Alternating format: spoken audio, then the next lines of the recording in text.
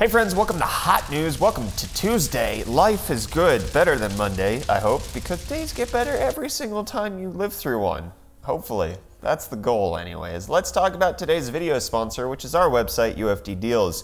Let's say you're trying to buy Ryzen 3000, or wait, the better value, cheaper Ryzen 2000 since AMD has dropped the prices. Well, if you go to UFD Deals, you'll find all of the CPU deals there. You'll find deals on motherboards, you'll find deals on monitors, anything that you might be trying to build a new PC with, check it out at UFD Deals. Go to ufd.tech, link for that's in the video description. Check it out, save money. We get an affiliate kickback, you guys save money, everybody is happy. Good. I'm happy now that you're listening to me. Let's move on into the title of today's video, which is about Ryzen 3000 reviews being wrong by everybody everywhere because I, in a lot of the reviews that were actually went out on the internet, you heard some people talking about how they were having issues with their Ryzen 3000 boost clocks and how they were struggling to make sure that the BIOS on their X570 motherboard, regardless of vendor, whether it was MSI, ASRock, Gigabyte, Asus, all of them had a little weird issue with Ryzen 3000 when it came to the actual performance of the chips, or rather the actual stated clock of the chips. However, now that has been fixed. AMD has rolled out what is presumably a fixed BIOS out to the public for most uh, motherboard vendors to update their motherboards to make sure that now Ryzen 3000 chips can actually hit their advertised speed. And a lot of people were thinking, well, this is the reason why the 9900K beat the 3900X. This is the reason why the 3600 didn't match the 9900K in games. It was supposed to, but it didn't. Rumors hurt me, and this is the reason why, because they couldn't achieve the boost clocks. However, that is probably not true, especially after Gamers Nexus has actually done another deep dive analysis into the AGESA difference between what they tested initially with on their 3600 and 3900X reviews and then what it is now. And they found that there was minimal, if not no difference between the two motherboard uh, BIOSes. Uh, they found that there was little to, if not no difference between the different BIOS uh, configurations for the Ryzen 3000 chips. And even if the new chips were hitting the actual boost clocks that they're supposed to, it didn't actually bring any better performance whatsoever. However, that doesn't mean that some other reviewers' methodology or testing might have been conflicted based on this. Not conflicted, but just straight up not as good as it could have been. And you could find that Ryzen 3000 might perform better with certain reviewers than with Gamers Nexus. AnandTech has also mentioned that they're going to be retesting all of their Ryzen 3000 coverage because of this motherboard discrepancy, but it does appear that Ryzen 3000 was wrong in the reviews in that the chips weren't as good as they could have been, and AMD has fixed that now, but they're not so much better that it actually matters all that much. So you take that for what it's worth. All Ryzen 3000 reviews are wrong, but not necessarily in a bad way. How do you feel about that? Let me know. But you know what you should feel bad about? Especially if you're a Destiny 2 player who went down to the nearest Micro Center, picked up a 3600 and a 5700, slapped it in your system, and then found out Destiny 2 is incompatible with Ryzen 3000 somehow. There are tons of information on subreddits for Destiny and AMD and the game forums for Destiny 2 reporting, I can't play this damn game because the chips somehow are incompatible. There's crashes happening anytime you try to boot up Destiny 2. Hopefully Bungie is going to be working on this, but yeah, that's what you get for being an early adopter, punks. Growing pains, teething pains. Deal with it on one game that nobody really cares about. This is why you should just be playing on Google Stadia. I know my own destiny, Uncle. And then another issue that's actually been popping up when it comes to Ryzen 3000 and Navi is, at least reported by Hardware Canucks, that if you combine an X570 motherboard with a RX 5700 or Navi GPU and you use a PCI Express riser, you're screwed. It only runs a 2D mode because apparently there's like some signaling issues that aren't going on with Gen 4. With a PCI Express 3.0 riser, you would need a 4.0 riser, which doesn't exist yet. And then apparently there are some possibilities that you can work around by setting the PCI Express 4.0 lane to be 3.0, but that doesn't work in every single motherboard. So like there's some workarounds, but not necessarily all of them. But just be wary that your PCI Express 3.0 stuff might not work all the time with 4.0.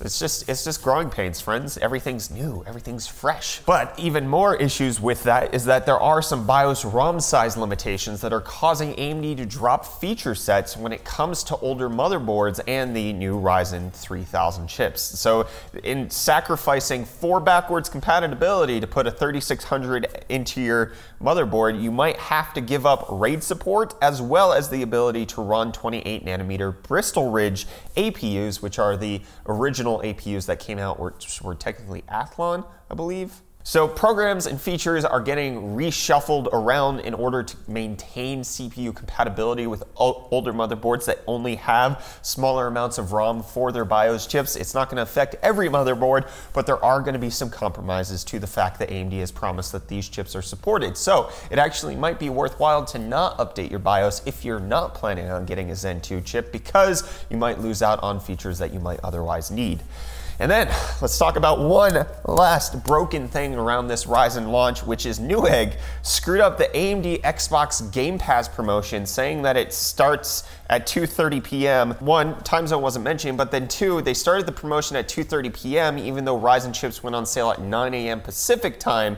So from 9 a.m. until 2:30, anybody who bought a Ryzen 3000 chip did not qualify for the AMD Xbox Game Pass promotion which doesn't make a whole lot of sense, especially since AMD's official terms and conditions says that this started on July 1st. So Newegg did an oopsie.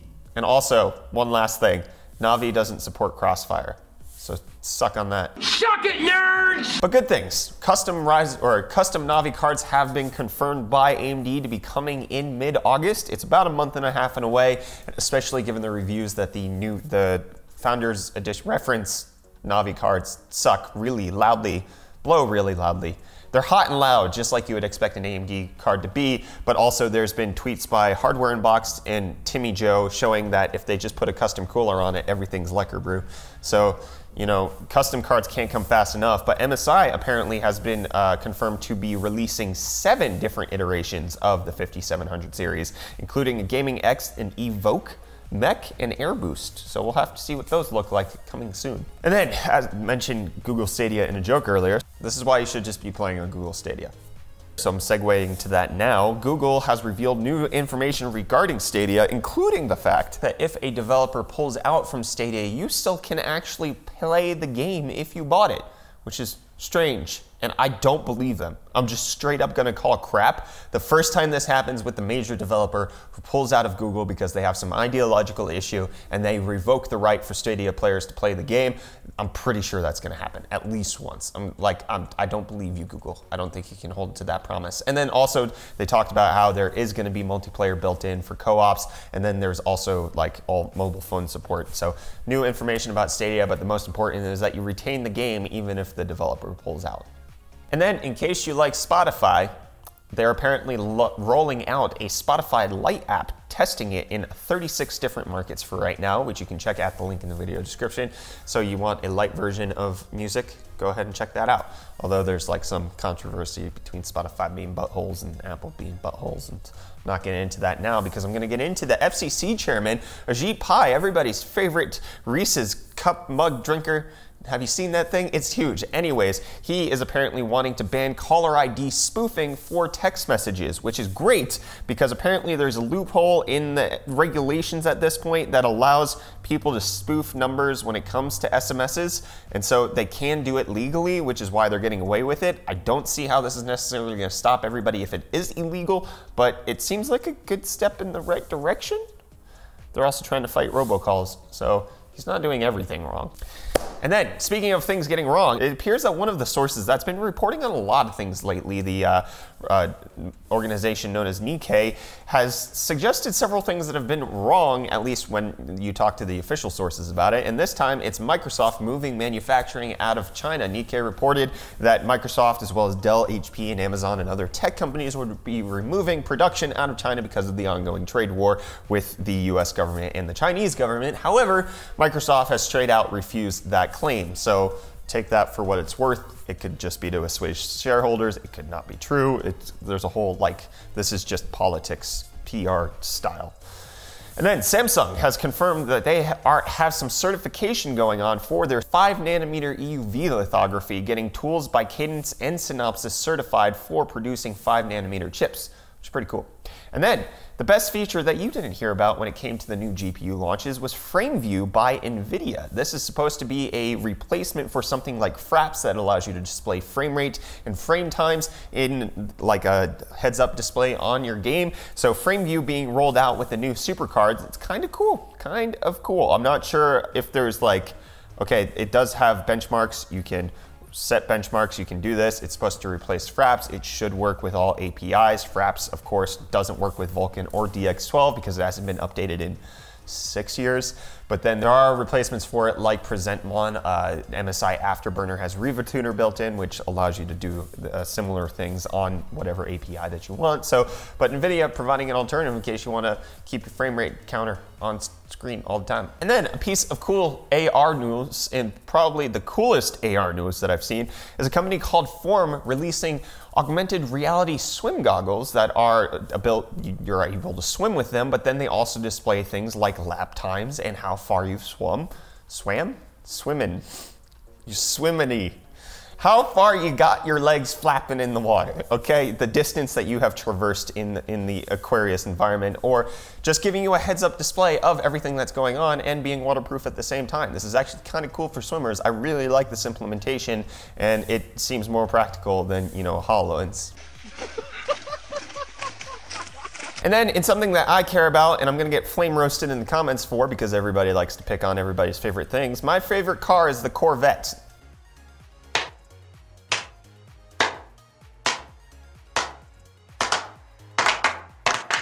shut up. I don't care what yours is. I don't care why I'm wrong. It's my favorite car. You can go fly a kite. I don't care if you're a Ford fanboy or you like the GTR or you like something else. Corvette is in my heart forever. Apparently, the new C8 is ready to be displayed to the world, and they're going to be unveiling it to press and the public via a live stream on the 18th of July. So stay tuned for that. I mean, the, the wrapped version that doesn't have all of the details to it looks phenomenal. I love the Corvette it's too bad that I slightly care about the environment, sort of, and I'm gonna buy a Tesla just because I'm a tech fanboy. So my Corvette dreams are rip.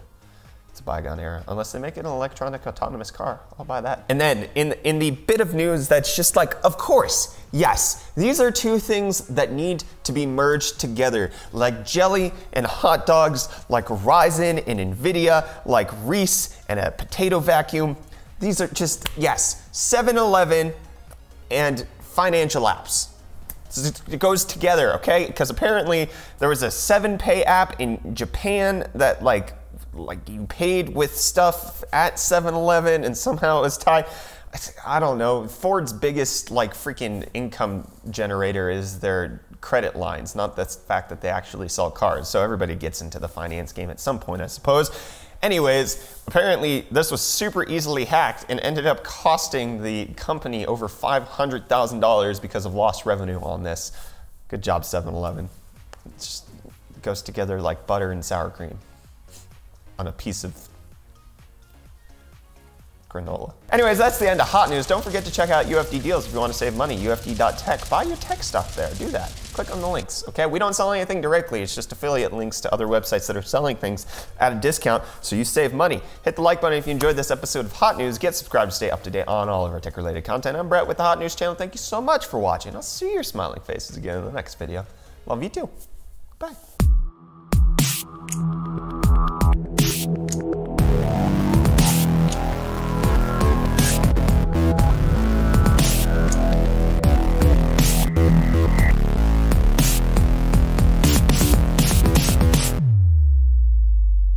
This is why you should just be playing on Google Stadia.